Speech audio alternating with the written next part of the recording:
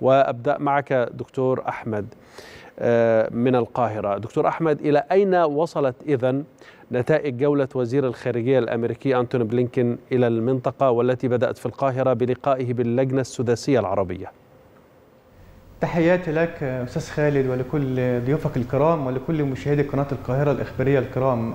في الواقع أن جولة بلينكين السادسة ربما لم تختلف كثيرا عن جولاته الخامسة السابقة لأن الوزير بلينكين جاء بنفس المدخلات وبالتالي كان نفس المخرجات التي أسفرت عنها الزيارة. دائما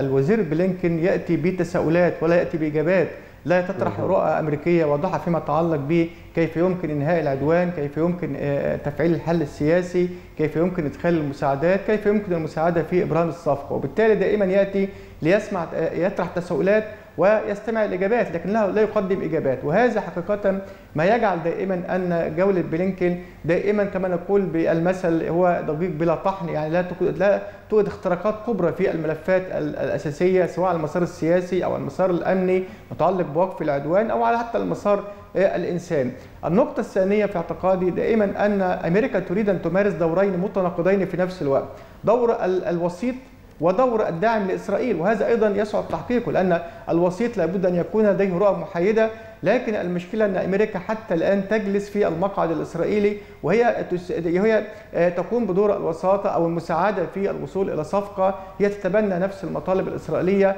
هي تريد لكنها لا تمارس ضغوط تريد أن يكون هناك هدنة إنسانية أو صفقة لتبادل الأسرى لتخفيف الضغط على الرئيس بايدن في عامه الانتخابي في ظل مؤشرات خطيرة بان هناك يعني فرص فوز في الانتخابات تبدو يعني متراجعة مع تقدم منافسه ترامب مع تصويت العرب والامريكين في الولايات المترجحة بغير الملتزم وبالتالي حرمانهم من أصوات مهمة قد تكلفه الانتخابات أيضا مع محاولة تحسين صورة أمريكا في الخارج فيما يتعلق بمجال حقوق الإنسان ويحاول البحث عن أي انتصار سياسي من خلال إبرام الصفقة. لكن حتى الآن أمريكا أو إدارة بايدن لا تمارس ضغوط حقيقية يعني أو تترجم على أرض الواقع فيما يتعلق بالضغط على الجانب الإسرائيلي الذي يبدو أنه متعنت ويطرح شروط تعجيزية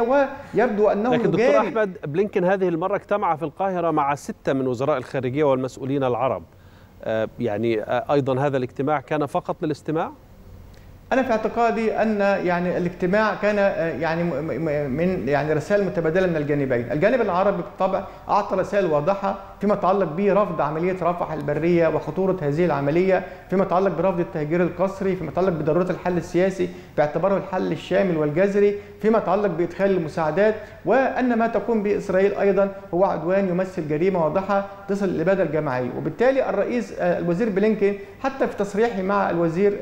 الخارجية المصري سامح شكري يعني تقريبا بدأوا أنه متماهي مع أو متوافق مع الأفكار أو المواقف العربية والمصرية عندما أكد أيضا على رفض رفح واعتبرها خط أحمر دون إجلاء خطة يعني لإجلاء المدنيين. أكد أيضا على رفض التهجير القسري أكد على إدخال المساعدات وأن المعابر أو الممر البحري والإسقاط الجوي لا يغنى عن الممر البري وفتح معبر رفح. أكد على حل الدولتين وأن دمج إسرائيل في المنطقة تطلب وكذا وبدأ كأنه متوافق تماما لكن المشكلة دائما هي في الجانب الأمريكي هي في الازدواجية أو الخطابين المزدوجين. هو يبدو أنه مع الحل السياسي يرفض العدوان يرفض التهجير القسري لكن على أرض الواقع ما تزال الإدارة الأمريكية تدعم بقوة إسرائيل أيضا لاعتبارات انتخابية والإرضاء اللوبي اليهودي. بمعنى هنا أننا أمام المسارين من العلاقة بين أمريكا وبين إسرائيل بين أمريكا الدولة وإسرائيل الدولة وهذا مستمر الدعم المطلق الدعم العسكري الدعم السياسي في مجلس الأمن الدولي ثم العلاقة ما بين إدارة نتنياهو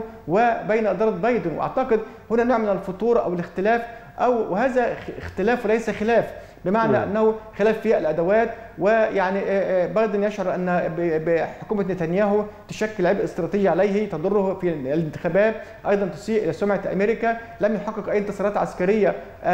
نتنياهو ولم يحقق أهداف العملية العسكرية سوى فقط قتل أكبر عدد من المدنيين الفلسطينيين أكثر من 32 ألف شهيد. وبالتالي هنا بدأت الإدارة تغير في اللهجة والخطاب من خلال إعلان رفض الرفح الوصول الهدنة. لكن حتى الآن أمريكا وإدارة بايدن لم تترجم